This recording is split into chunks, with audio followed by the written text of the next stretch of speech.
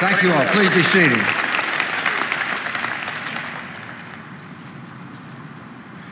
Oh, happy days. Uh, I want to thank you all for coming. Laura and I are thrilled to have so many friends. I mean, a lot of friends here to celebrate this special day. Uh, there was a time in my life when I wasn't likely to be found at a library, much less found one. Beautiful building has my name above the door, but it belongs uh, to you.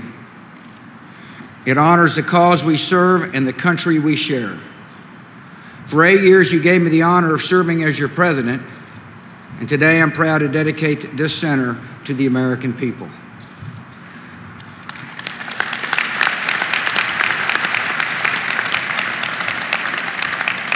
I am very grateful to President Obama and Michelle for making this trip.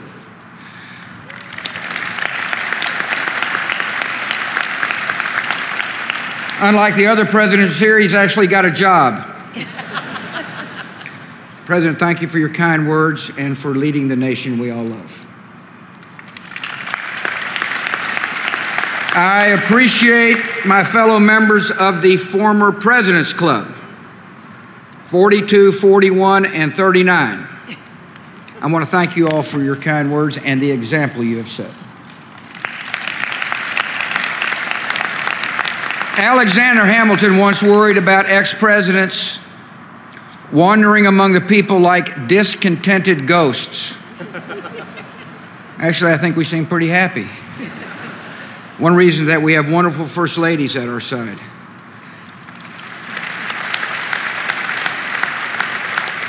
Hillary and Rosalynn, thank you for your service and your generosity. Mother and Laura, you know how I feel. Condi introduced the world leaders with whom I had the privilege to serve. You're good friends, and I'm honored to have you here in the promised land. I want to welcome the members of Congress, Mr. Speaker, appreciate you coming, and the diplomatic corps. I know you will all be happy to hear that this speech is a lot shorter than the State of the Union. I thank the governors, Governor of our own home state, and other governors, mayors, state and local officials who joined us. I welcome members of my cabinet, the White House staff and administration, especially Vice President Dick Cheney.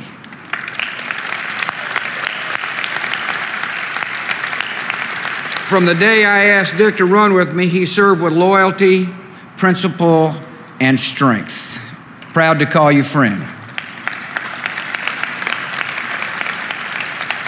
History is going to show that I served with great people, a talented, dedicated, intelligent men, team of men and women who love our nation as much as I do. I want to thank the people who have made this project a success. President Gerald Turner runs a fantastic university.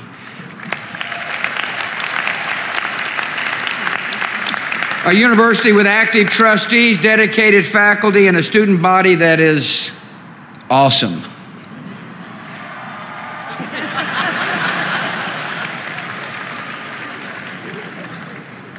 I want to thank David Ferriero Alan Lowe, and the professionals at the National Archives and Records Administration who have taken on a major task, and I am confident you all will handle it. I appreciate the architects, landscapers, and designers, especially Bob Stern, Michael Van Valkenburgh, and Dan Murphy. I want to thank the folks of Manhattan Construction, as well as all the workers who built a fine facility that will stand the test of time. I thank the fantastic team at the George W. Bush Center, headed by Mark Langdale and Jim Glassman, and my longtime pal, Donnie Evans. Much to the delight, much to the delight of the folks who worked on this project, we have raised enough money to pay our bills. We have we have over 300,000 contributors from all 50 states. And Laura and I thank you from the bottom of our hearts.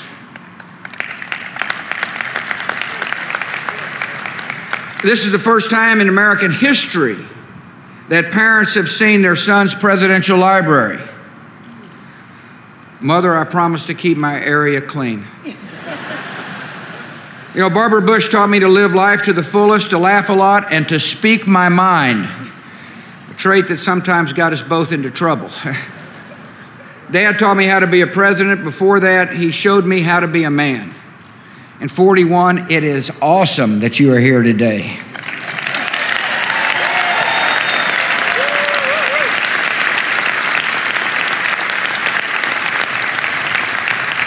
I welcome, I welcome my dear brothers and sister, as well as in laws, cousins, nephews, nieces, uncles, all of you, for joining us. Our family has meant more to me than anything, and I thank you for making it so. Not so long ago, this campus was home to a beautiful West Texan named Laura Welch.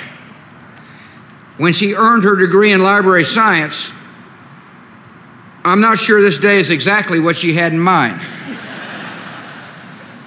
She's been a source of strength and support and inspiration ever since we met in the O'Neill's backyard in Midland, Texas. One of the joys of the presidency was watching Laura serve as First Lady. The American people rightly love her, and so do I.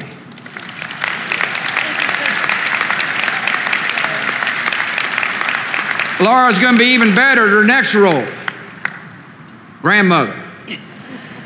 It was a joy. I can't tell you what a joy it was to hold little Mila. And I am really happy that Mila's mother and father, Jenna and Henry, could make it here today. Thank you all for coming. So if you don't have anything to do in the morning, tune in to the Today Show.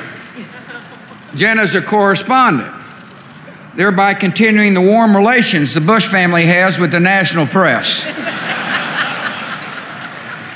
And I'm really proud of Barbara, who's with us, for her incredible work to serve others and to save lives.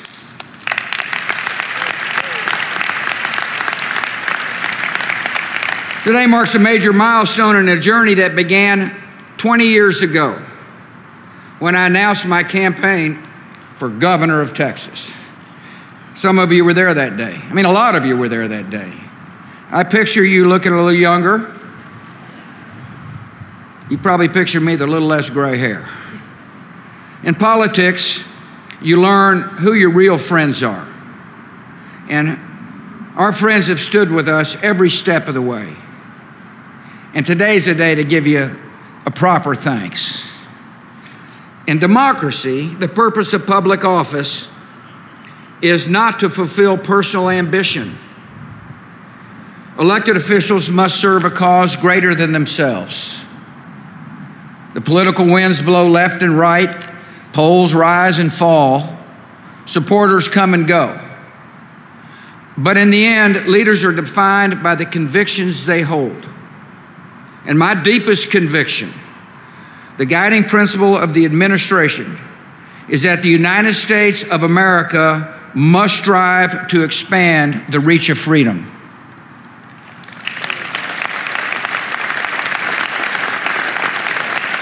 I believe that freedom is a gift from God and the hope of every human heart.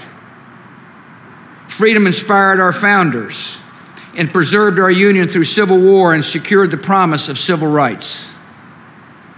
Freedom sustains dissidents bound by chains believers huddled in underground churches, and voters who risk their lives to cast their ballots. Freedom unleashes creativity, rewards innovation, and replaces poverty with prosperity. And ultimately, freedom lights the path to peace. Freedom brings responsibility. Independence from the state does not mean isolation from each other. A free society thrives when neighbors help neighbors, and the strong protect the weak, and public policies promote private compassion. As president, I tried to act on these principles every day. It wasn't always easy, and it certainly wasn't always popular. One of the benefits of freedom is that people can disagree. It's fair to say I created plenty of opportunities to exercise that right. But when future generations come to this library and study this administration, they're going to find out that we stayed true to our convictions.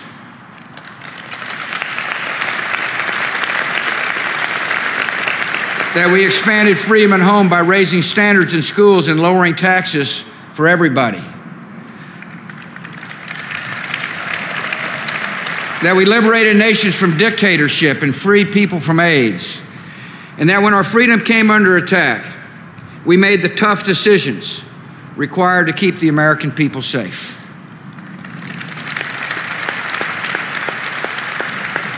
Those same principles define the mission of the Presidential Center. I'm retired from politics, happily so, I might add, but not from public service. We'll use our influence to help more children start life with a quality education, to help more Americans find jobs and economic opportunity, to help more countries overcome poverty and disease, to help more people in every part of the world live in freedom. We'll work to empower women around the world to transform their countries, stand behind the courageous men and women who have stepped forward to wear the uniform of the United States to defend our flag and our freedoms here at home. Ultimately, the success of a nation depends on the character of its citizens. As president, I had the privilege to see that character up close. I saw it in the first responders who charged up the stairs into the flames to save people's lives from burning towers. I saw it in the Virginia Tech professor who barricaded his classroom door with his body until his students escaped to safety. I saw it in the people in New Orleans who made homemade boats to rescue their neighbors from the floods. I saw it in the service members who laid down their lives to keep our country safe and to make other nations free. Franklin Roosevelt once described the dedication of a library as an act of faith. I dedicate this library with an unshakable faith in the future of our country. It's the honor of a lifetime to lead a country as brave and as noble as the United States. Whatever challenges come before us, I will always believe our nation's best days lie ahead. God bless.